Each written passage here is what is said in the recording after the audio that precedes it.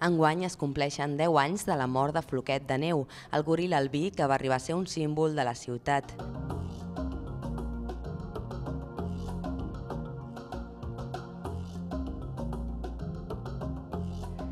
El Zoo de Barcelona vol commemorar aquest aniversari amb un programa d'activitats per recordar la seva memòria i per explicar com ha evolucionat el coneixement sobre els goril·les en aquesta dècada.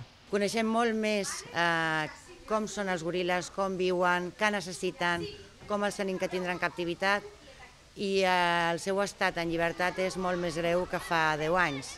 La setmana de Floquet de Neu, que se celebrarà del 16 al 24 de novembre, comptarà amb exposicions, xerrades educatives, projeccions amb imatges de l'època i una gincana que simula els perills que els goril·les troben al seu hàbitat. Que el Floquet sigui un símbol de tot aquest esforç que s'està fent, doncs crec que és molt maco, no? I que és una manera de recordar-ho, de que ser un, va ser un animal únic, molt emblemàtic, i que puguem continuar en aquesta empenta de cara a, a la lluita que tenim que fer per preservar goril·les, natura i tot el que va relacionat amb el medi ambient.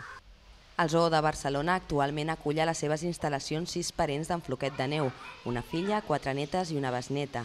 A més, té altres descendents en diversos zoològics en el marc del Programa Europeu de Reproducció.